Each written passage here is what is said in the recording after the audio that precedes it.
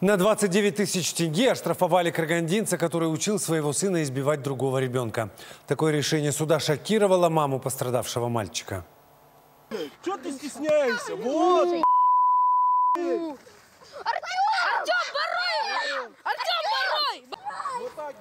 Это кадры драки детей 6 и 7 лет. Отец младшего из них не смог удержаться и поначалу только советовал, как бить, а потом перешел к наглядной демонстрации.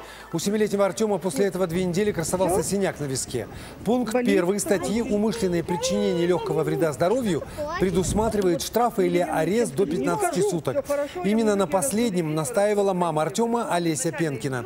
Но суд, исходя из того, что мужчина ранее не привлекался и растит троих детей, ограничился штрафом в 41 тысячу тенге, да еще и с 30% скидкой.